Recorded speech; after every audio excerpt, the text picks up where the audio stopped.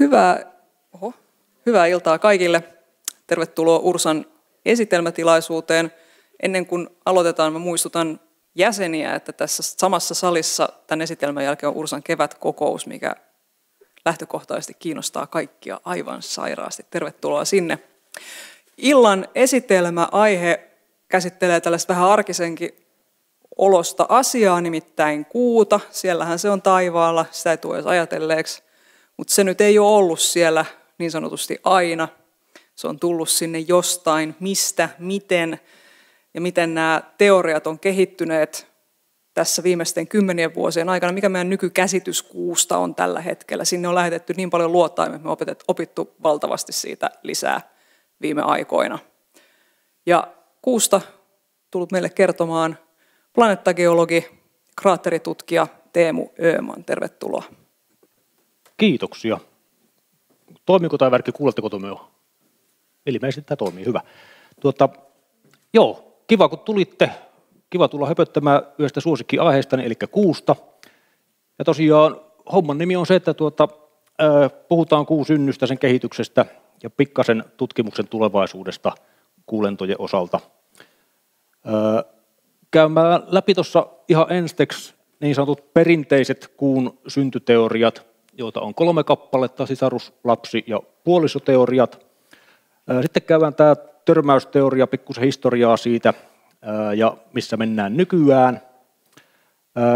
Sitten aika ison osan ajasta haukkaapi kuun geologinen historia, eli mitä tapahtui sen jälkeen, kun se kuu syntyi, miten se kehittyi semmoiseksi, niin kuin se nykyään on. Ja ihan pikkusen sitten lopuksi lähivuosien kuulennoista. Parin viikon päästä Mäkisen Jari höpöttävi paljon Apollo-lennoista ja se sanoi, että jonkun verran se puhuu myöskin tulevista lennoista, joten mä en ihan hirveästi puutu siihen, että Jari kertoo luultavasti enempi sitten siitä. Mutta tuossa olisi niin kuin suunnitelma. Mutta ennen kuin mennään siihen, niin mä muistutan, että nyt eletäänkin todellista kuun vuotta. Eli paitsi, että otsikoita hallitsee Apollo 50, tietysti ihan syystä, niin meillä on paljon muitakin juhlia tässä menossa. Eli tänä vuonna tulee 410 vuotta siitä, kun Thomas Harriot teki ensimmäiset kaukoputkihavainnot kuusta. Ei julkassu niitä, mikä saattoi olla ihan järkeväkin veto, koska Galileille ei sitten käynyt hirveän hyvin. No okei, se tietysti tuli mullistamassa maailmankuvaa, mutta tuota, no muuten sille ei välttämättä käynyt hirveän hyvin, kun se julkisti omat havaintonsa 410 vuotta sitten tuossa syssyllä. Meillä tulee tänä vuonna 60 vuotta siitä, kun Neuvostoliitto siinä vaiheessa rökitti amerikkalaiset kuukilpajuoksussa aivan täysin. Eli Luna 1 oli ensimmäinen kuu ohilento, Luna 2 ensimmäinen törmäys, Luna 3 ensimmäiset valokuvat kuun etäpuolelta, eli siltä puolta, mikä ei meille näy. Ja sitten on tosiaan Apollo-juhlia pitkin tätä vuotta. Ja myöskin sitten kannattaa muistaa, että nyt tulee kymmenen vuotta siitä, kun LRO luotaan. Missä on LRO? Tuolla. Eli tuota, NASAn erinomainen kuuluotaan aloitti toimintansa. LRO ei ollut ensimmäinen näistä uuden sukupolven kuuluotaamista, mutta se on monessa mielessä merkittävin ja toimii edelleen. Eli juhlitaan kuuta tänä vuonna mahdollisimman paljon. Pikkusen historiaa. Eli jos nyt aloitellaan tuolta 1600-luvulta, mikä on monessakin mielessä hyvä paikka aloitella, niin tuota, kuun synty ei ollut kovinkaan kiinnostava ongelma sen ajan tutkijoille, eikä se vallankaan ollut mitenkään suotava tutkimusaihe, koska kirkkohan nyt ei hirveästi tykännyt esimerkiksi Galileo Galilein touhuista. Senpä takia René Descartes ei julkaissut omaa aurinkokunnan syntyteoriansa, niin sanottua vorteksiteoriaa, hengissä ollessaan, vaan hän tuota, kirjoitti se joskus muistaakseni 1630-luvulla, mutta se julkaistiin vasta sitten hänen kuolemansa jälkeen. Mutta periaatteessa se oli niin kuin tavallaan yhdenlainen alkuvaihe kuun syntyteorioille. Mutta varsinainen nebulaarihypoteesi, sen alku Siinäkin ruotsalaiset on tietysti ykkösiä, eli tuota Emanuel Swedenborg oli ensimmäinen, joka puhui siitä, että aurinkokunta olisi syntynyt jonkinnäköisestä pöly- ja kaasupilvestä. Filosofi Immanuel Kant puhuu aiheesta paljon yllättävän viisasta puhetta filosofilta, jotka yleensä on aika turhaa porukkaa. Laplace on kuitenkin se äijä, joka on ennen kaikkea se tärkein tyyppi tämän nebulaarihypoteesin kannalta. Ajatus on siinä siis se, että maa ja kuu syntyi yhtä aikaa jonkinnäköisestä pöly- ja kaasupilvestä. Tai samaan nippuun kuuluu se ajatus, että kuu syntyi alkumaan kaasukehästä. Ja tämä malli kulkee noin niin kuin sisarusmallin nimellä, eli maa ja kuu olisi toistensa sisaruksia.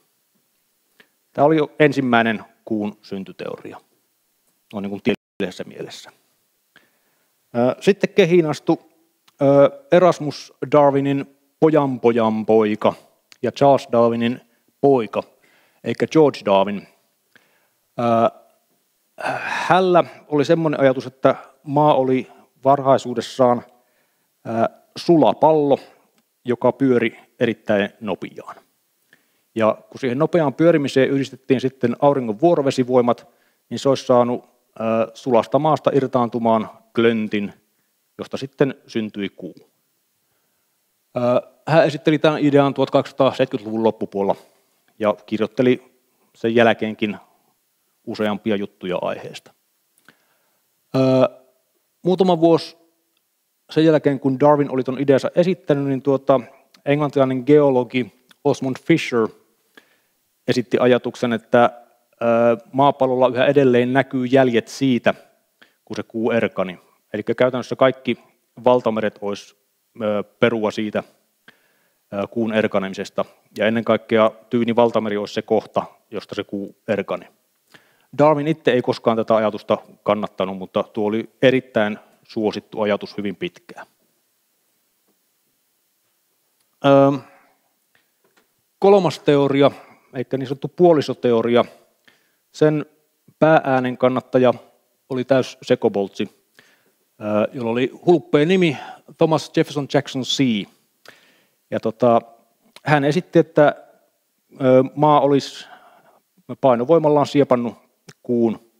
Ja kuu ei myöskään ollut syntynyt missään tässä lähimaillakaan, vaan jossakin hyvin kaukana, kenties Neptunuksen radan tienoilla. Ja se kuu siellä radalla olisi hidastunut jonkinnäköisen väliaineen vaikutuksesta, ja se väliaine oli hänen mukaansa munanmuotoisia fotoneja. Et vaikka tota äijä oli täysin sekaisin, niin tuota, tämä idea oli hyvin suosittu hyvin pitkään. Hän julkaisi tämän jutun vuonna 1909. Itse asiassa hän julkaisi aivan hirvittävän määrä artikkeleja. Osittain se liittyy sillä, että esimerkiksi tämä juttu ensin julkaistiin astronomisessa Nahrihtenissä, ja tuota, täysin sama juttu samana vuonna julkaistiin sitten Popular Astronomy-lehdessä. Ainoa ero on se, että tuota, tässä otsikko on ladottu tuolla tyylikkäästi. Mutta täysin sama juttu. Eli hän sai markkinoitua tätä ajatustaan hyvinkin paljon ja se oli erittäin suosittu teoria. Hypätään ajassa eteenpäin ja mennään Apollo-aikakauden alkuun. Eli kun tultiin 60-luvulle, niin ei ollut minkäännäköistä käsitystä siitä, että mikä tämä kuun synty oikein oli. Eli maan ja kuun sukulaisuussuhde oli tässä vaiheessa täysin tuntematon. Eli oliko kyse Laplacein sisaruksesta, Darwinin lapsesta vai Jacksonin, äh, anteeksi, siinä äh, puolisosta. Nämä oli suurin piirtein tasavertaisia. Kaikilla oli omat hyvät puolensa ja kaikilla oli omat kannattajansa. Mutta vastausta ei tiedetty. Ja näin ollen yksi Apollo-ohjelman tärkeimpiä tieteellisiä tavoitteita olikin selvittää kuun synty. Minä olen erittäin kova Apollo-fani ja tuota, minusta ei kovin helposti saa irti sellaista kommenttia, että Apollo olisi epäonnistunut jossakin. Mutta tuota, fakta kuitenkin on, että tässä asiassa Apollo-ohjelma epäonnistui. Eli Apollo eivät suoraan tuottaneet sitä vastausta siihen, että miten se kuu syntyi. osittain homma kuitenkin selvisi, eli Apollo-näytteiden pohjalta pystyttiin sanomaan hyvinkin selvästi se, että kuu ei ole Nobel-kemisti Harold Urine kannattama kylmä, kuollut, muinainen maailma, jonka maa on joskus siepannut, vaan äärimmäisen monimutkainen, kehittynyt geologinen käytännössä planeetta, niin kuin planeettageologit sitä kutsuu. Eli tämmöinen sieppausmalli pystyttiin sulkemaan pois. Mutta vaikka Apollo ei suoranaisesti sitä vastausta antanut, niin Apollon tulokset, eli käytännössä huolellisesti harkituista paikoista, huolellisesti valitut kuun näytteet, loi pohjan sille, että pystyttiin luomaan myöhemmin toimiva malli. Ennen kaikkea niiden näytteiden happiisotoopit, joista puhutaan kohta lisää, ja magmamerihypoteesi, nämä oli erittäin tärkeitä uuden syntyteorian kehittelemisen kannalta. Eli mitä vaatimuksia tällä uudella teorialla sitten oli? No ne vaatimukset on tietysti sama asia kuin vanhojen teorioiden ongelmat. Eli meidän kuuhan on aivan valtavan kokoinen meidän omaan planeettaan nähden. Ylivoimaisesti suurin satelliitti, mitä meidän planeetolta löytyy. Joku voi tietysti sanoa, että no Pluto ja Kaaron on tietysti erilainen systeemi, mutta okei, ne on enemmänkin kaksoisplaneettajärjestelmä kuin satelliitti ja sen planeetta. Eli kaikilla muilla planeetoilla kiertolaiset on hirvittävän paljon pienempiä suhteessa siihen omaan planeettaansa. Maa-kuun järjestelmässä on myöskin kauhia iso määrä impulssimomenttia, tai mitä nimitystä siitä haluakaan käyttää. Käytännössä siis pyöriviä massoja. Se on äärimmäisen tärkeä seikka, mikä pitää sen mallin selittää. Apollo-näytteet osoitti, että kuun kivissä on hirvittävän vähän helposti haistuvia aineita. Eikä semmoisia alakuaineita, jotka lämmitettäessä katoaa taivaan tuuli hyviäkkiä. Ja pitkään myöskin oletettiin, että kuu on rikastunut sellaisista alakuaineista, jotka tiivistyy korkeassa lämpötilassa. Tämä oli voimassa ihan viime vuosi asti, mutta tuossa jokunen vuosi sitten Grail-luotaimet määritti kuun kuorikerroksen paksuuden varsin tarkkaan. Ja tästä pystyttiin päättelemään, että okei, tämä ajatus oli pielessä aikaisemmin, eikä ne niin sanotut refraktoriset alakuaineet, niin ei ne olekaan rikastuneet kuussa. Öö, raudan vähyys tarkoittaa kuun pientä tiheyttä ja se tarkoittaa kuun pientä ydintä. Eikä tämä tiedetään tasan tarkkaan, että tämmöinen on, ja mallin pitää selittää se. Öö, happi-isotoppikoostumus maalla ja kuulla on lähestulkoon identtinen. Myöskin muut isotooppijärjestelmät tarjoaa saman vastauksen, eli maa ja kuu on hyvin tarkkaan samankaltaisia. Maan vaippakerroksen, eli tämän kuoren alla olevan kerroksen ja kuun koostumus, ne on kutakuinkin samat. Ja sitten vielä todettiin, että kuun magmameri on oleellinen kriteeri, eli sekin pitäisi pystyä selittämään.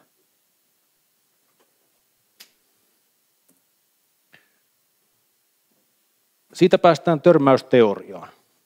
Se ei ole mikään hirvittävä uusi idea tavallaan, koska tota, jo tähtitieteilijä Henry Norris Russell esitti idean, että tuota, on kenties tapahtunut törmäys. Russellhan on paremmin tunnettu toisena HR-diagramman kehittäjänä, eli tähtien kirkkauden ja värin kuvaavan diagrammin kehittäjänä.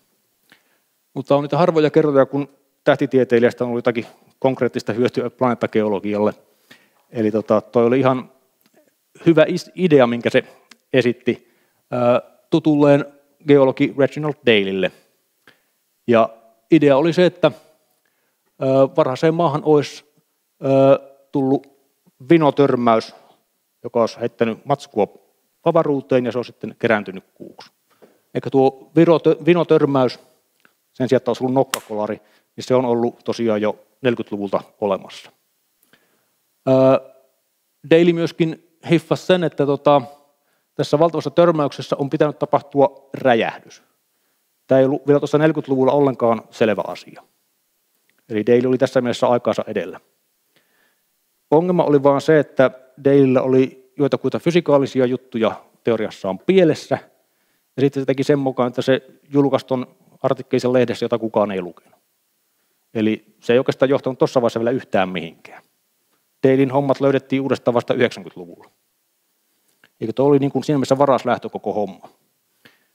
Varsinaisesti tuo törmäysteoria kuun synnylle kehitettiin 70-luvun puolessa välissä. Vuonna 1974 julkaistiin ensimmäinen kokousjulkaisu aiheesta. Bill Hartman ja Don Davis julkaisi ensin tosiaan kokousjulkaisu ja seuraavana vuonna artikkelin. Heillä oli suhteellisen pieni kappale siinä heidän mallissaan, joka maahan törmäsi, mutta he kuitenkin jo oivalti, että tuota, tämän on pitänyt tapahtua siinä vaiheessa, kun maapallon rautaydin ja silikaattivaippa ovat jo erottuneet toisistaan. Eli tässä mielessä varsin myöhään alkumaan kehityksessä. Eikä tämä ajatus on peräisin tosiaan ihan sieltä alkuvaiheesta 70-luvun puolesta välistä.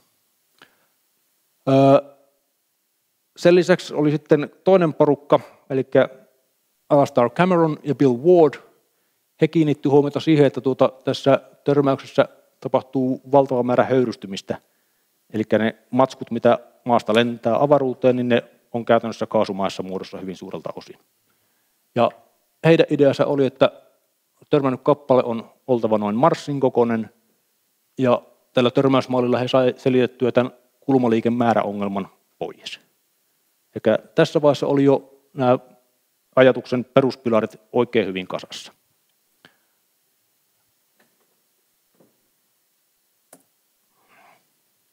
Homma ei kuitenkaan edistynyt kymmeneen vuoteen vielä oikeastaan yhtään mihinkään. Jotkut tutkijat siitä pikkusen innostu, mutta valtavirtaa siitä ei missään mielessä vielä tullut. Mutta vuonna 1984 sitten Havajilla järjestettiin kuun syntyä käsittelevä kokous, ja siellä ää, todettiin, että ää, kappas yhä useampi tutkija alkaa kannattaa tätä törmäysmallia. Ää, geokemisti Stuart Ross Taylor loi he lausumaan siellä nykyään Taylorin aksioomana tunnetun väitteen, että parhaita kuun syntymalleja ovat ne, joita voidaan testata. Eikä tämähän on äärimmäisen järkevä perustavanlaatuinen ajatus. Mutta tästä nyt sitten seuraa sellainen ongelma, että testattavat kuun syntymallit on väärässä. Eli tuolla Havain kokouksessa pystyttiin toteamaan, että no, mikään niistä vanhasta kolmesta perusmallista ei toimi. Mutta päästiin kuitenkin konsensukseen siitä, että se törmäysteoria ei ole mahdoton, mikä on tietysti mille tahansa teorialle ihan hyvä lähtökohta, jos ei se ole mahdoton. Ja ainakin pääpiirteissään se törmäysmalli pystyy selittämään kaikki ne keskeiset havainnot, mitä ennen kaikkea Apollo-lentojen jälkeen tehtiin.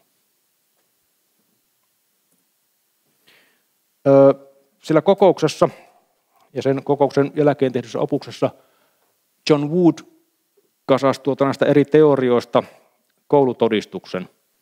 Eli tuossa on arvosanat amerikkalaisen asteikon mukaan, eli A on paras ja ähvä on hylsy. Törmäysteoria on tuossa noin ja tuossa on noin eri kriteerit. I meinaa sitä, että ei ollut vielä tarpeeksi tietoa aiheesta. Eli törmäysteorialla ei ensimmäistäkään hylsyä ole tuossa todistuksessa, mikä on oikein hyvä juttu. Tuossa viitisen vuotta sitten Bill Hartman sieventi tuon koulutodistuksen järkevämpää, helposti havaittavampaan muotoon. Eli mitä pienempi luku, niin sen parempi. Eli tässä tämä törmäysteoria on ihan ylivoimainen ykkönen. Ja esimerkiksi tuo puolisoteoria ei toimi ollenkaan. Eli 80-luvun puolesta välistä lähtien tämä törmäysteoria on ollut valtavirtaa kuun syntymalleissa. Eli jonkinnäköinen tämmöinen tapahtuma on muinoin ollut.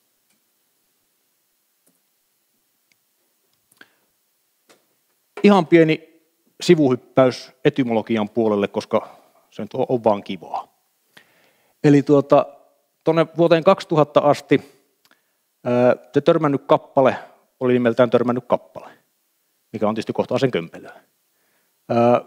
Brittiläinen geokemisti Alex Halliday heitti sitten ilmoille ajatuksen, että kutsutaanpa sitä Teijaksi. Ja tämä Teija oli sikäli hyvä nimi, että tuota, Teija oli titanidi, eli naaraspuolinen titaani.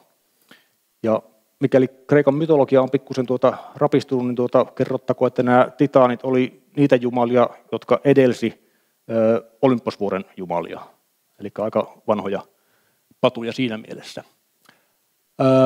Teija oli Gaian eli maan ja Uranoksen eli Uranuksen tytär, ja Uranuskin oli tietysti Gaian itselleen puolisoksi luoma. Ja koska Kreikassa nyt oltiin, niin tuota, joo en sano mitään, tuota, se oli myöskin veljensä Hyperionin vaimo. Ja oleellista on se, että Teija oli Selenen eli kuun äiti. Ei tässä mielessä niin kuin mytologian kannalta Teija oli oikein pastelinimi. No, tämän oli niin kuin sivuhyppäyksenä etymologiaan. mennään 2000-luvulle ja tuota, tietokoneiden laskuteho oli tietysti kehittynyt paljon 80-luvun tehoista. Tuossa on Robin Canopin malli vuodelta 2004.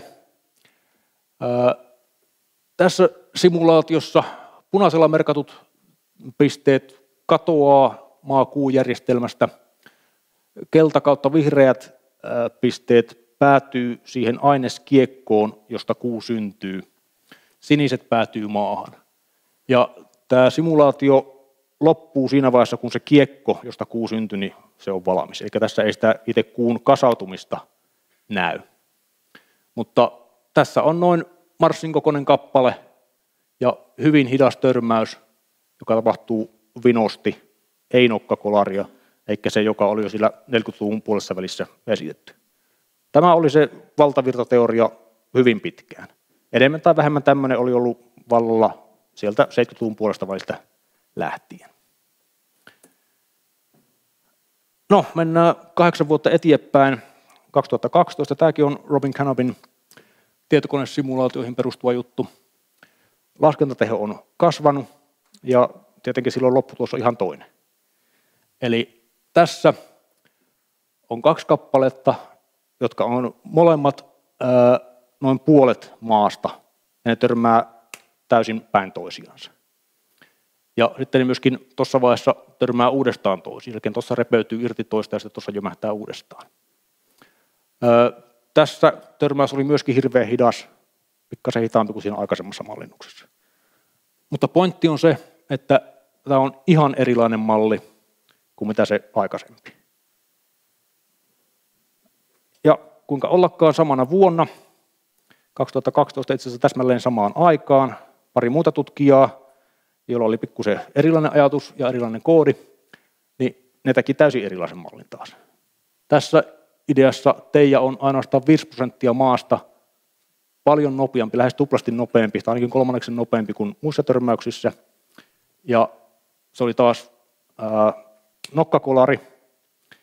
Ja tähän malliin oli myöskin sitten heitetty semmoinen idea, että maapallo pyöri hyvin nopeasti, reilussa kahdessa tunnissa. Ja sen nopean pyörimisen ynnä sitten auringon ja kuun resonanssin vuoksi siitä se matsku lähti huitsin kuikkaan erittäin helposti. Eikä tässä mielessä, tässä törmäysmallissa oli ää, kaikuja siitä Darwinin lapsimallista jonninkin verran. Eli tosiaan varhaiset mallit, tietokonemallit oli ihan erilaisia ja samaan aikaan 2012 tuli kaksi täysin erilaista mallia. Tämä on tietysti hiukan hämmentävä, mutta näin se nyt tietokonemallissa tuppaa menemään. Ja hyvät mallintajat jopa tunnustaa, että näissä malleissa on semmoinen pikku ongelma, että niiden fysiikka on pielessä. Eli siinä mielessä minä, joka olen vain tyhmä geologi, niin suosittelisin suhtautumaan melkoisella varauksella näihin mallinnusjuttuihin, koska ne muuttuu aivan täysin aina kun tietokoneiden laskentateossa tapahtuu suuria edistysaskelia. Ja siellä on se fysiikka pohjimmiltaan hyvin epätäydellistä. Mutta no niin kuin, tämä on tilanne tällä hetkellä suurin piirtein noiden mallien kanssa. Uudempiakin malleja on tullut, mutta periaatteessa tilanne on toinen. Eikä mitään sellaista kaikkien hyväksymää mallia ei ole. 2000-luvulla ruvettiin myöskin puhumaan tuommoista kuin isotooppikriisistä. Eli maa ja kuu on liian samanlaisia eri isotooppisysteemien suhteen. Ennen kaikkea happi-isotoopit, eli siis isotoopithan on ö, samaa sorttia, mutta niissä on vain ytimessä eri määrä neutroja. Eli tuossa happi-isotoopit on happi 16, 17, 18. Ja muutkin isotooppijärjestelmät antoivat samanlaisia tuloksia, eli maa ja kuu on täysin identtisiä. Ja tämä on ongelmaista sen takia, että on ajateltu, että isotooppijärjestelmät muuttuu, kun mennään kauemmas auringosta. Me tiedetään, että kuun, Marsin ja Vestan happi-isotoopit, ne poikkeaa toisistaan. Ja on oletettu, että siinä on jonkinnäköinen systematiikka, kun etäännytään auringosta ja mennään kauemmas. Ja näin ollen olisi äärimmäisen epätodennäköistä, että se teija olisi sattunut olemaan täysin samanlaista kamaa kuin maa. Mutta välttämättä mitään suurempaa kriisiä ei ole, koska on täysin mahdollista, että se teija sattunut syntymään jossakin maan lähellä. Ja jos se isotoppisysteemit muuttu etäisyyden mukaan, jos se teija syntyi samalla etäisyydellä kuin maa, niin sen koostumus olisi suurin piirtein sama.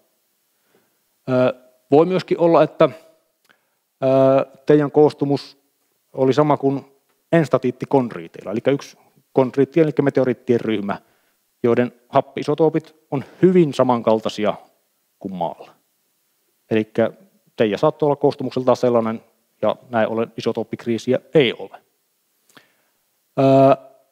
Ja myöskään sen, se perusoletus siitä, että isotooppijärjestelmät muuttuu etäisyyden mukaan, ei se välttämättä pidä paikkaansa. Jos me saataisiin näytteitä Veenuksesta, niin silloin me oltaisiin paljon viisaampia sen suhteen, että pitääkö tämä ajatus paikkansa vai ei. Mutta se nyt ei ole lähiaikuna tapahtumassa. Ja myöhemmissä mittauksissa on eräissä tutkimuksissa havaittu lieviä eroja niissä etenkin happi-isotoopeissa, jotka on parhaiten tutkittu. Toiset tutkimukset sanoo, että ei pidä paikkaansa, mutta kuitenkin. Eli pienimuotoisesta isotooppikriisistä voi ehkä edelleenkin puhua, mutta ei se mikään kuolinisku missään nimessä ole esimerkiksi tuo törmäysteorialle. Eli tämän hetken tilanne on se, että törmäysteoria on edelleen paras malli kuun synnylle. Mutta yksityiskohdista, sanotaan aika isoistakin asioista, niin löytyy mielipiteitä vaikka hurumikke. Tässä on hyvä aika, että minä otan ryypyn. No niin, nyt meillä on syntynyt kuu. Katsotaan nyt sitten, että mitä sille rupeaa tapahtumaan sen jälkeen, kun se on saatu sinne taivaalle. Eli kuun geologia jaetaan erinäköisiin aikakausiin ihan samalla tavalla ää, niin kuin maakin. Aikakausia kuussa on vaan huomattavan paljon vähemmän. Eli nämä on tällainen geologisesti numeroitu, eli tuota ykkönen on alalla. Eli ensimmäinen kuun geologinen aikakausi on nimeltään preenektarinen kausi. Tosin täytyy korostaa, että nämä nimet eivät ole millään lailla virallisia. Preenektarisella kaudella kuu synty, tuli magmameri ja niin edespäin. Palataan niihin kohta. Sitä seurasi nektarinen kausi, jossa syntyi tämän kuun lähipuolen monet tutut isot törmäysaltaat. Imbrisellä kaudella tapahtui paljon vulkanismia ja tällä hetkellä eletään kopernikaanista kautta, joka on tämä kuun nuorin geologinen aikakausi. Katsotaan vähän tarkemmin, että mitä siellä nyt milloinkin sitten tapahtui. Pahoittelen tuota värikakofoniaa, se ei varmaan ainakaan punaviher värisokeille toimi ollenkaan, mutta tuota ehkä jotkut saa siitä jotakin selvää. Eli tuota, tässä kartassa ja vastaavissa kartoissa myöhemmin on aina esitetty vain kuun lähipuoli, eikä meille päin kääntynyt puoli. Ja olla väreillä nyt on sitten täällä näitä paikkoja esitelty, että missä ne on, kun mä en usko, että kaikki välttämättä muistaa, missä on Fekundidaattiksen allas esimerkiksi. Se on tuossa noin. Öö, nykyään oletetaan, että kuu syntyi noin 4,51 miljardia vuotta sitten. Eli noin GA tuolla, niin ne on miljardeja vuosia. Nämä numerot on täällä vain niin suuntaa antavia, koska kuun absoluuttinen ajanmääritys ei, tai siis noiden kuun ajanjaksojen absoluuttinen ajanmääritys on äärimmäisen epätarkkaa tiedettä. Öö, Preinektorisella kaudella tosiaan syntyi se magmameri, palataan siihen kohta. Ja, mutta tapahtui myöskin näitä suuria törmäyksiä, eli South Pole Aitkenin törmäys olisi, jota pikkusen pilikottaa lähipuolellakin, ynnä sitten esimerkiksi Siller-Tsukkiuksen allas. Ja tosiaan näissä kartoissa värilliset jutut aina niin on sen ikäistä pintaa, mitä meille nyt tällä hetkellä näkyy. Mutta katsotaan tuota magmamerta pikkusen tarkemmin. Eli tämä oli suoraa seurausta Apollo-lennoista. Tuo magmamerihypoteesi syntyi jo heti Apollo 11 näytteiden pohjalta. Eli idea tuossa on hyvin niin yksinkertainen. Eli kun siinä törmäyksessä kuu suli, tai siis se aines, mistä kuu syntyi, se suli ja pysyi sulana holli aikoa, niin siinä sulassa kiviaineksessa alkoi tapahtua kiteytymistä, ja raskaat mineraalit, eli käytännössä ne, jotka sieltää paljon rautaa, vajos syvemmälle, ja kevyt aines, alumiinia sisältävä tavara, se nousi pintaan. Mulla on tuossa nuo murkulatkin. Eli anortosiitti on sitä kuun kuoriaineesta vaaleita kiveitä, kiveitä, kiveä. Suurin piirtein tonnakasta tavaraa. Tämä ei ole kuusta, mulla ei ole niin paljon rahaa, tämä on koillismaalta, mutta periaatteessa tämmöistä kiveä. Sitä saa ihmetellä jossakin vaiheessa, jos haluaa. Se on Annella. Anna tekee sille jotakin jossakin vaiheessa. Varastaako joku tuon? Pistä kiertämään. Ei kuun vaaleat ylänköalueet on siis ton näköistä tavaraa.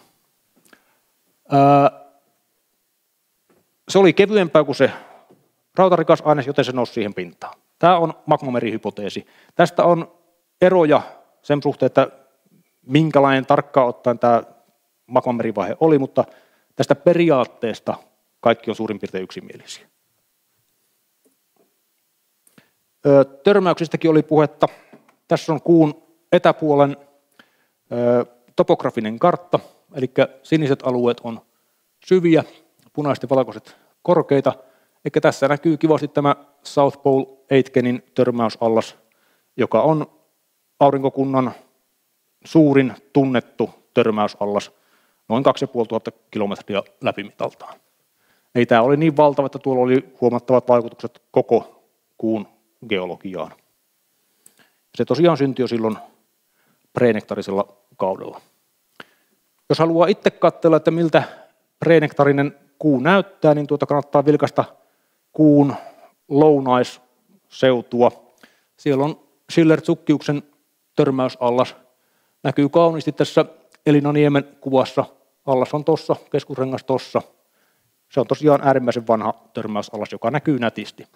Ja tällä alueella sitten on preenektarista ylätasankoa, Eli siellä näkyy hirviä määrä isoja törmäyksiä toinen toistensa päällä.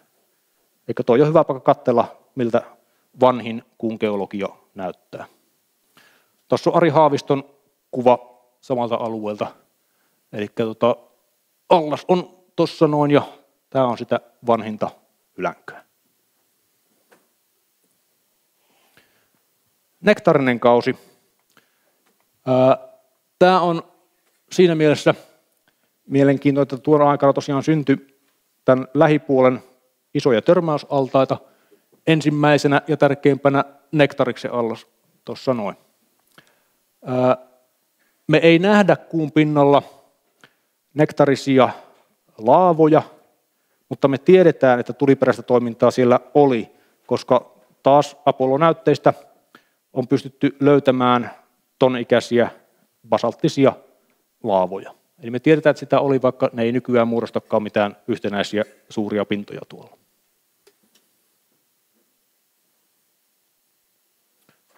Tuossa on taas Elinon Jemen kuva Nektariksen altaasta. Tuo on meikäläisen suosikkiallas. Siitä mielessä siinä pääsee kuka tahansa itsekin näkemään, että tota, törmäysaltaat on eri asia kuin meret. Eli tuossa on rupes altain jyrkänne, joka muodostaa tuon nektariksen altaan reunan. Ja niin kuin kaikissa törmäyskraattereissa, törmäysaltaat on siis suuria kraattereita, niissä on myöskin heittelekenttä. Ja nektariksessa se heittelekenttä näkyy oikein kivasti. Esimerkiksi tuolla on Vallisreitan laakso, jonka on kyntänyt nektariksesta lentänyt heittele. Eli kaikki tämä aines täällä ulkopuolella on nektariksesta pihalla lentänyttä tavaraa. Ja tuolla keskellä on sitten mare nektaris, eli nektarimeri, ja se täyttää ainoastaan pienen osan tästä koko altaasta, ja se tuli tuohon satoja miljoonia vuosia myöhemmin. Niin tässä mielessä nektaris on aivan erinomaisen kaunis ja havainnollinen törmäysallas. Siirrytään ajassa eteenpäin, päästään varhaisimpiriselle epookille. Tämä on äärimmäisen kiinnostava ajanjakso. Tämä alkoi Imbriumin törmäysaltaan synnyllä ja päättyi orientaalen törmäysaltaan syntyyn. Pienempiäkin törmäyksiä tapahtui, mutta nämä on ne oleellisimmat ja nämä on meidän kannalta tärkeät sikäli, että nämä Imbriumin ja orientaalen heitteleet peittää erittäin suuren osan koko tuosta kuun lähipuolen pinnasta. Palataan syyhyn ihan pian. Eli tuossa on niin sanotut Imbriumin uurokset. Tuossa keskellä on Jyldeenin kraatteri, nimetty suomalaisen Hugo Jyldeenin mukaan. Missään muualla kuun pinnalla oikeastaan nuo Imbriumin uurokset ei näy niin nätisti kuin tuossa Jyldeenin lähellä. Eli kaikki tämä luode kaakkosuuntainen rakenne, mitä tässä kuvassa näkyy, niin se on Imbriumin heitteleen synnyttämää juttua. Me on tiedetty jo 1900-luvun alusta asti, että kuun kerrosjärjestyksessä toi Impriumin heittele on se kaikkein keskeisin ää, kerros. Et se määrittää tärkeimmät jaot kuun geologisessa historiassa. Mitä tuli ennen sitä, mitä tuli sen jälkeen. Ongelma on siinä, että tuo Impriumin heittele on levinnyt kaikille niille alueille, mistä meillä on Apollo-näytteitä. Eli periaatteessa ne on saastuttaneet kaikki Apollo-näytteet. Ja tähänkin palataan kohta, että miksi se on paha juttu. Tuossa vielä kuvatuksena sitten toinen oleellinen törmäysalas tältä kaudelta, eli orientaalen allas. Oikein klassinen, kaunis, monirenkainen törmäysallas, jossa näkyy tosiaan nämä kolme rengasta ja keskellä ainoastaan pieni mare orientaale. Toi on kuun nuorin törmäysallas. Ja tämän jälkeen niitä ei enää syntynyt. Tuossa on vaan on niin suurin piirtein mittakaavana, että minkä kokoisista hommista puhutaan. Eli nämä on aivan jumalattoman isoja törmäyksiä.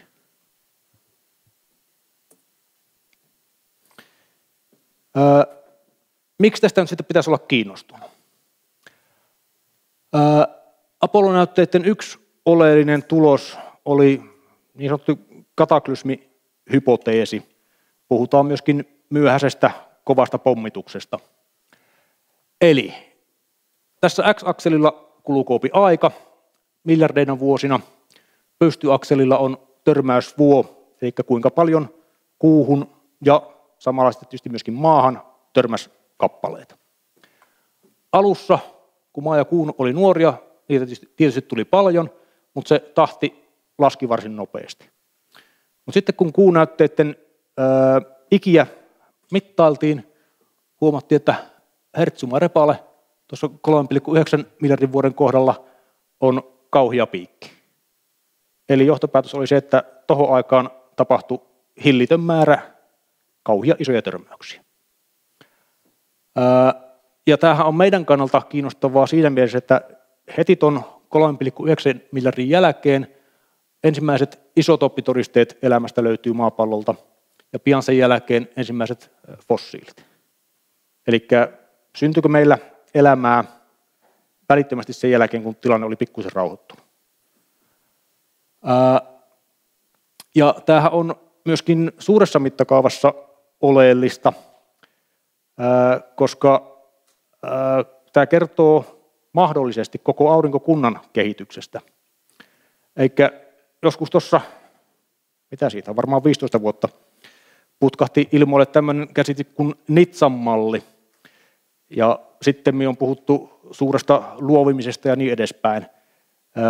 Niissä pointtina on se, että jättiläisplaneetat eivät alakujaa olleet ollenkaan siellä, missä ne on nykyään. Eli ne on näiden ideoiden mukaan heijanneet ees sun taas sun pitkin poikin aurinkokuntaa. Välillä lähempänä aurinkoa, välillä kauempana. Ja kun ne on siinä kuljeksineet, niin ne on häirinneet pienempiä kappaleita, asteroideja, kenties komeettoja, ja ne on sitten ruvenneet tipahtelemaan esimerkiksi kuuhun ja maahan.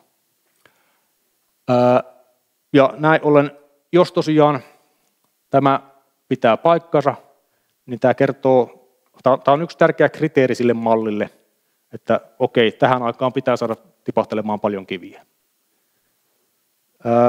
Ja sinänsä Nitsan malli ja sen johdannaiset toimii hyvin yhteen tämän kanssa. Mutta nyt tulee sitten se mutta, mihin olen pari kertaa aikaisemmin viitannut. Tämä perustuu Apollo-näytteisiin. Ja niin kuin mä sanoin, Imbriumin heittele on saastuttanut periaatteessa kaikki Apollo-laskeutumispaikat. Eli voi olla, että tämä piikki ei ole todellinen, vaan että kun mitataan näytteiden ikiä, niin me mitataan pelkästään Imbriumin ikää yhä uudestaan ja uudestaan. Eli tästä kiistellään kovasti koko ajan, että tota, onko tämä piikki todellinen vai ei. Ja tämä sitten vaikuttaa hyvin oleellisesti koko meidän sisäaurinkokunnan kehitykseen, ajatuksiin sen ää, erilaista malleista. Ja tämä oli tosiaan ihan täysin Apollo-lentojen aikaan homma. Ja tosiaan tämä oli mulla tuossa ajanjaksossa sen takia, että noi Imbrium ja Orientaale synty tuohon aikaan. Eli jos on niin, että tuohon aikaan syntyi paljon altaita ja se ajanjakso oli tosiaan äärimmäisen lyhyt, niin silloin voidaan puhua aidosta kataklysmistä tai myöhäisestä reippaasta pommituksesta. No, sitten kun pommituksesta päästiin eroon, alkoi vulkanismin hallitsema aika, eli kaikki tai lähes kaikki lähipuolen tummat alueet, eli meret, eli maretasangot, syntyi tuossa Imbrisellä tai sitä seuraavalla kaudella. Ää, tosiaan altaita ei tässä vaiheessa enää tullut, lähinnä vulkanismia. Ja ää, pistetään tuosta vaikka tuo toinen kivi kiertämään, eikä noi meret on basalttia, joka on esimerkiksi maapallolla kaikkein yleisin kivilaji. Tuossa on basaltti Arizonasta, ei kuusta, mutta tosiaan väriltäänkin jo näkee, että hyvin erilainen kuin se anortosiitti. Älkää pöllikö tuotakaan.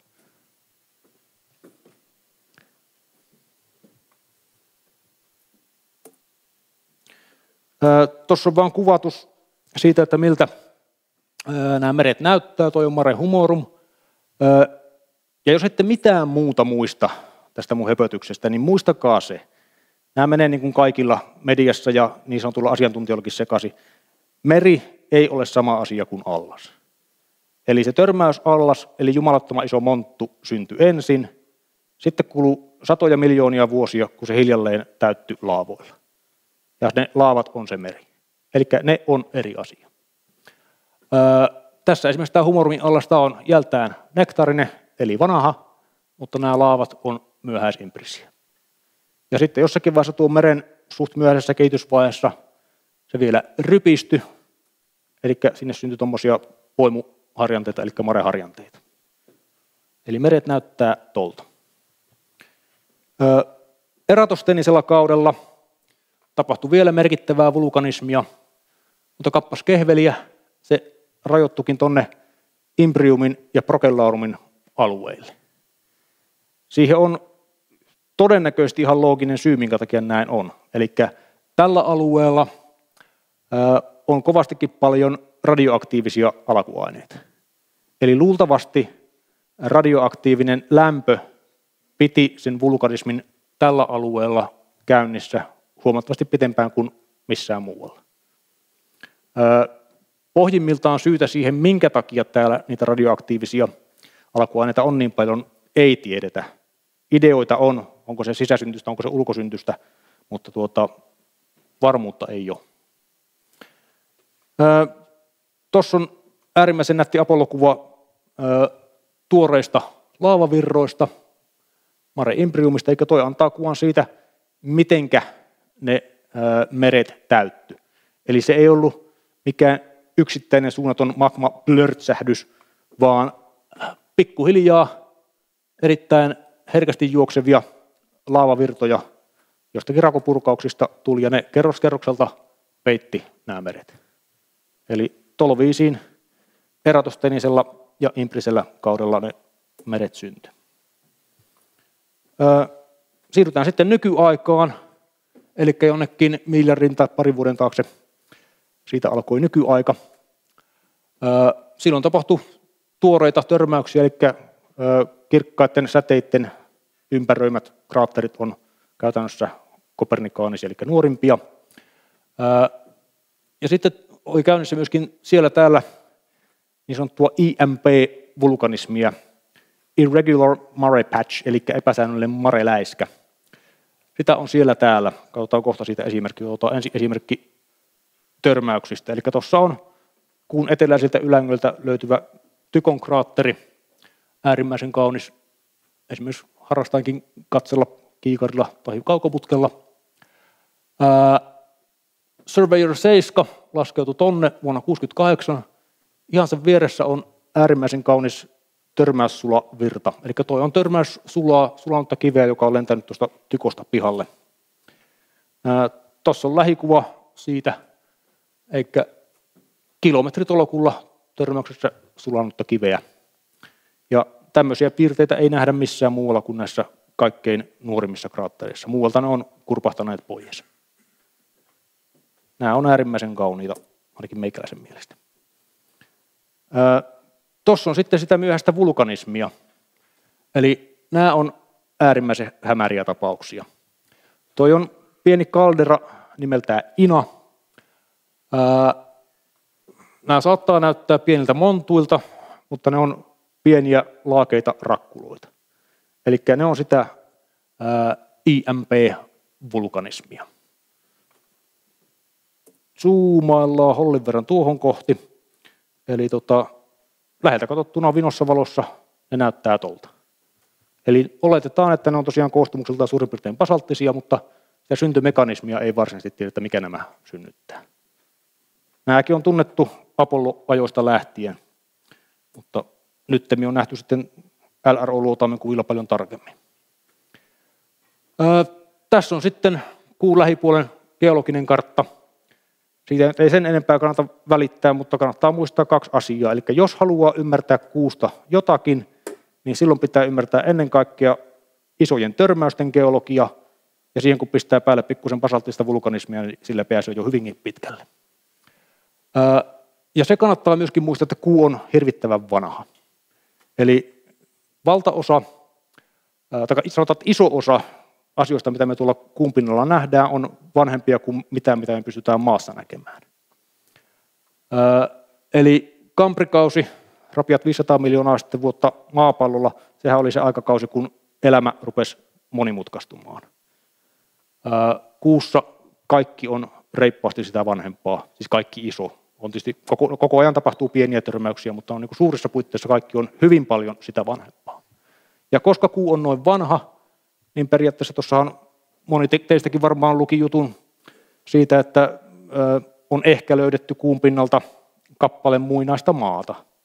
Eli maasta on lentänyt törmäysten myötä tavaraa kuuhun, ja koska kuussa ei ole tapahtunut miljardeihin vuosiin paljon mitään ja siellä ei ole kovinkaan paljon vettä, niin muinaiset maankappaleet saattaa säilyä kuussa. Maasta semmoisia on turha etsiä, koska ne on hävinneet jo aikapäiviä sitten. Herra jestas, mä oon aikataulussa melkein. Eli tähän loppuun nyt sitten vielä muutama sananen ää, tulevista kuulennoista. Eli jo tuossa ehkä ensi kuussa israelaisten Bereshit laskeutui ja yrittää laskeutua Mare Serenitaattiksen pohjoisosiin. Ää, se on ennen kaikkea noin niin kuin teknologiakoe, mutta siellä on yksi mittalaite mukana – yksi oikea mittalaite, eli magnetometri.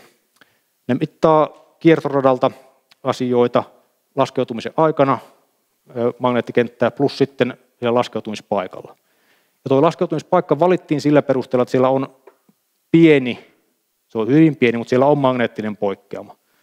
Pääkriteeri oli se, että se alue on tasainen, mutta tuota, siellä mitataan magneettikenttää ja jos siitä saadaan järkeviä mittauksia, niin se saattaa kertoa jotakin siitä, missä vaiheessa esimerkiksi kuun magneettikenttä uuvahti tai jotain muuta, mutta hirveän paljon mä en tuolta odota, mutta joka tapauksessa tiedettäkin siellä tehdään.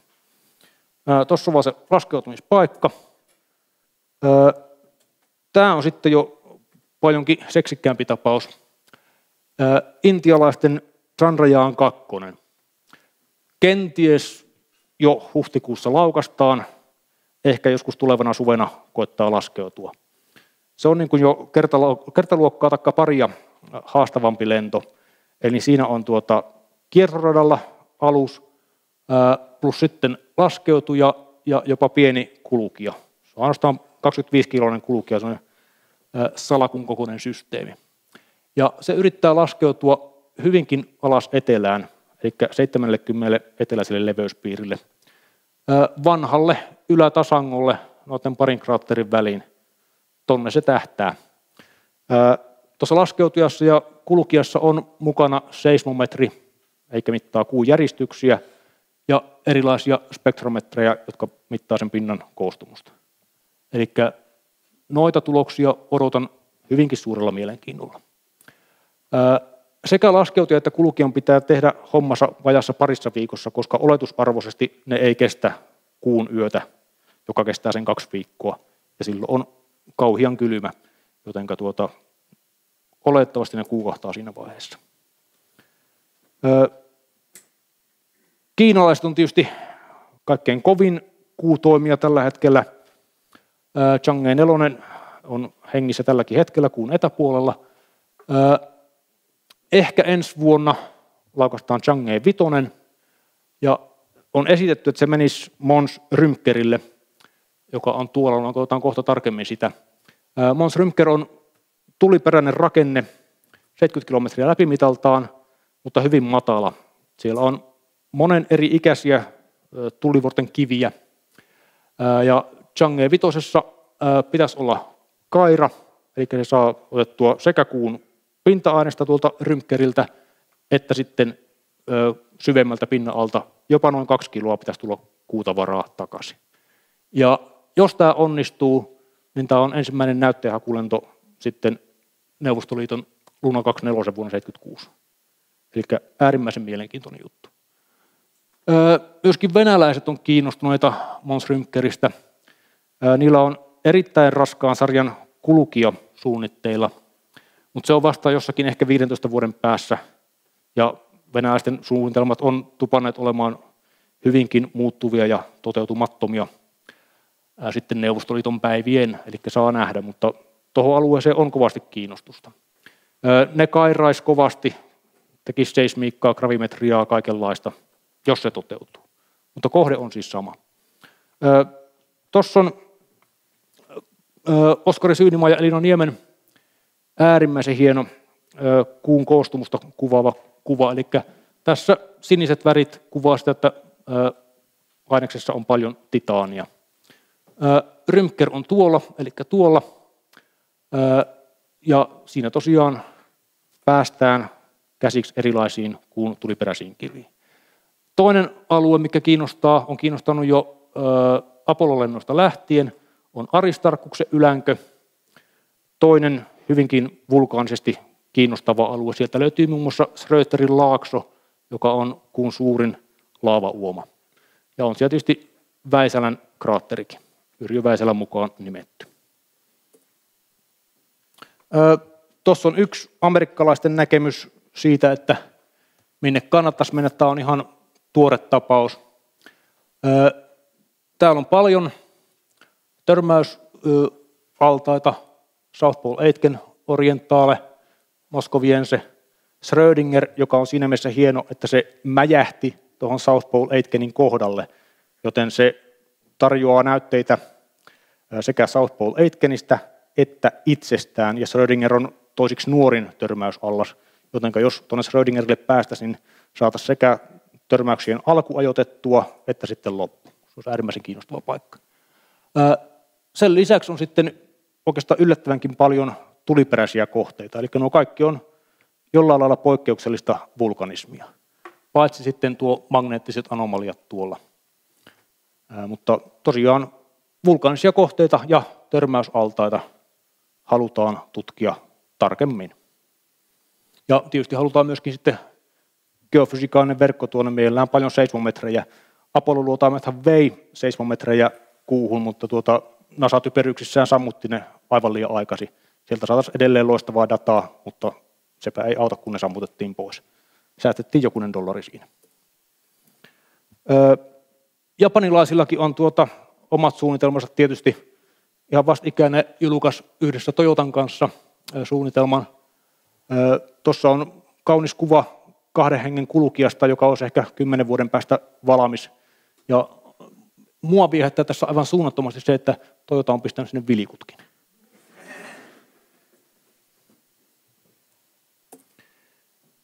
Öö, lähestytään loppua. Eli öö, Apollo-lentoja, jos jostain kumman syystä morkataan aina välillä, se on täysin älytöntä. Öö, meidän öö, nykytietämys kuusta ja suurelta osin koko aurinkokunnan kehityksestä perustuu erittäin suurelta osin Apollo-näytteisiin. Sieltä saatiin 382 kiloa kiveä, ja ne ei ollut mitään satunnaisia murkuloita, joita jätkät keräs taskuunsa, vaan ne paikat valittiin erittäin tarkasti etukäteen, ja ne astronautit, jotka siellä kävi, oli erittäin hyvin geologisesti koulutettuja. Ennen kaikkea kolmen viimeisen lennon äijät, jossa oli mukana yksi geologi, tohtori, niin tuota, on ihan perustellusti sanottu, että koko kolmen viimeisen lennon miehistöt, joka jamppa osasi saman verran geologiaa kuin amerikkalainen geologian alalta valmistunut maisteri ja kenttägeologiaa paremmin. Eli on ihan turha lässyttää, että tuota, oli vain jotain koelentäjiä, jotka nappaili satunnaisia kiviä. Öö, suuri osa Apollon näytteistä, yli 80 prosenttia, on täysin tutkimatta vielä. Ja tämä on äärimmäisen järkevää toimintaa koska analyysitekniikka kehittyy koko ajan. Ja näin ollen, jos me olisi tärvätty kaikki kivet 70-80-luvulla, niin me ei oltaisi saatu esimerkiksi tietää sitä, että kuun vaipassa on paljon vettä. Me tiedetään se nyt, kun meillä on parempi analyysitekniikka. Öö, tässä kuussa valittiin, mitähän niitä oli puolen tusinaa eri tutkimusryhmää, jotka pääsee korkkaamaan öö, Apollo-näytteitä, jotka on olleet kylmäsäilyssä vakuumissa 70-luvun alusta lähtien. Eli näihin näytteisiin suhtaudutaan aivan samalla tavalla kuin ne olisi uusia, tuoreita, just kuusta tulleita näytteitä. Eli tästä tullaan oppimaan erittäin paljon kaikkea äärimmäisen kiehtovaa lisää. Ja tätä kannattaa korostaa, että nuo näytteet tarjoaa koko ajan uutta tietoa. Eli miehi, anteeksi, miehistöitetyt, sekä eikä henkilöitetyt lennot, niin tuota, ää, ne on äärimmäisen tärkeitä. Silloin saadaan paljon hyviä näytteitä. Sitä kannattaa tehdä jatkossakin. Eli summa summarum. Kuu syntyi ehkä noin 4,51 miljardia vuotta sitten. Jonkun kokoinen kappale törmäs maahan. Tietoa siitä, että minkä kokoinen se on, se on, se on arvopeliä ja tulee muuttumaan mallinnusten myötä, mutta jonkinnäköinen chipale siihen mäjähti. Kuu on äärimmäisen monimuotoinen, kehittynyt kappale. Planeettageologit pitää sitä planeettana. Se ei ole mikään tylsä sorakasa. Ja jos me ymmärretään kuuta ja sen geologista historiaa. Me pystytään sen perusteella ymmärtämään hyvin paljon sitä, mitä on tapahtunut ennen kaikkea sisemmässä aurinkokunnassa, osittain koko aurinkokunnassa. Apollo-näytteet ne on edelleen se tärkein tietolähde, mikä meillä on. Ja mä luulen, että tuota, mä lopetan tähän. Puoli minuuttia tulee.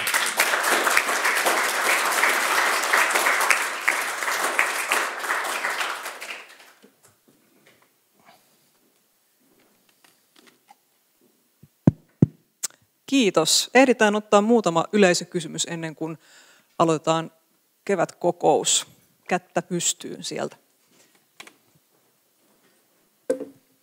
Joo, mulla tuli semmoinen ajatus, että mitä tapahtuisi maalle, jos kuu yhtäkkiä katoisi, ja sama toisinpäin, että mitä tapahtuisi kuulle, jos maa katoisi.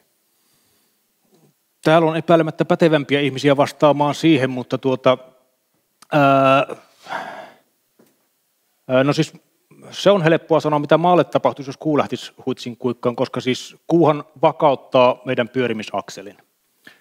Eli jos meillä ei olisi tuota isoa kuuta tuossa, niin meidän akseli viuhtoisi ihan miten sattuu.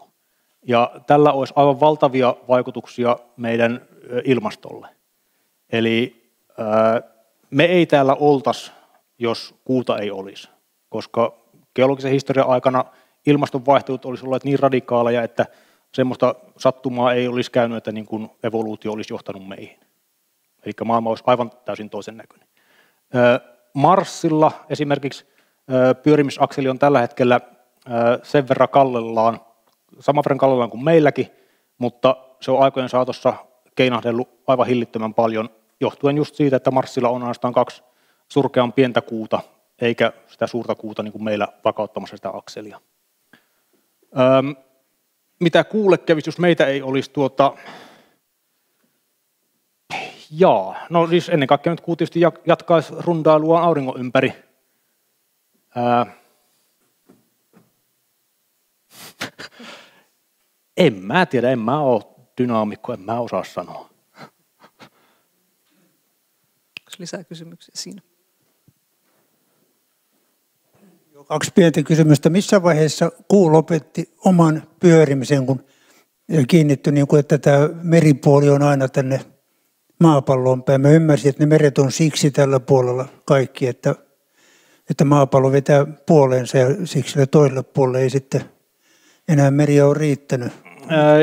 Että joku vaihe siinä oli. Ja toinen sitten eri kysymys on se, että nyt kun Apollot kävi siellä, niin kukaanhan ei tiennyt, onko se kovin – millainen se kuuperä on. Ja kävi ilmi, että siellä on hirveästi pölyä joka paikassa. Kaikki paikat on pölyn peittämiä.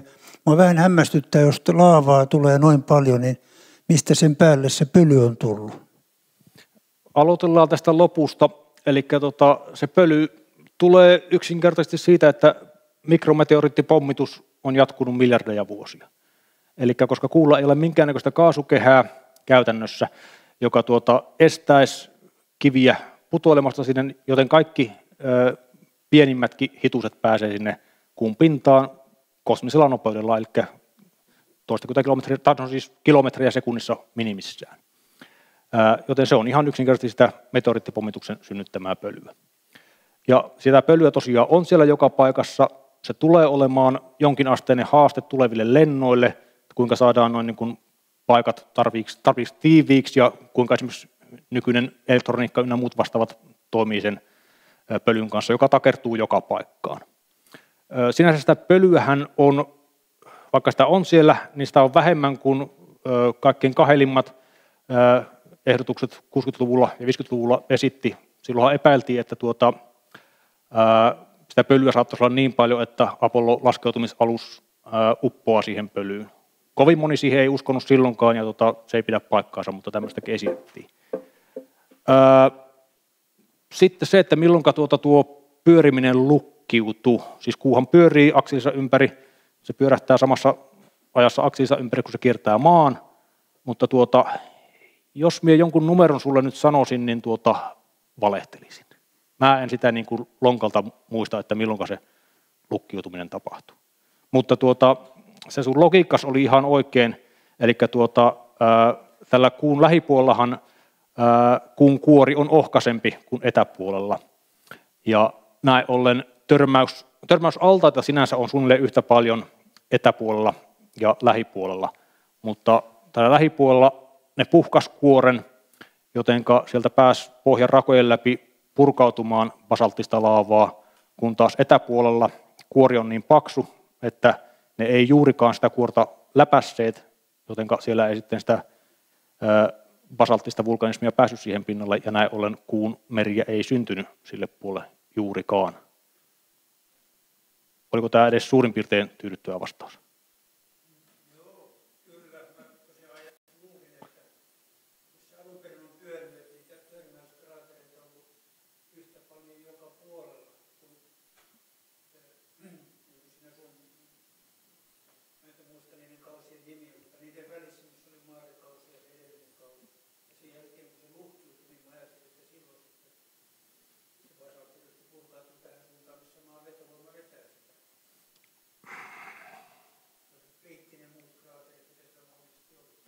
Ne peitti hirveän paljon kraattereita kyllä, mutta tuota, pelkkari hyvä pointti. Mä, mä en sano sitä aikaa. Mun pitää ihan uteliaisuudesta tsekata, että milloin se, nyky, nykyiset teoriat sanoo, että milloin se pyöriminen lukkiutuu. Okei, kiitos. Meidän pitää valitettavasti lopettaa kysymykset nyt. Kevätkokous alkaa pian, mutta kiitos hei vielä kerran.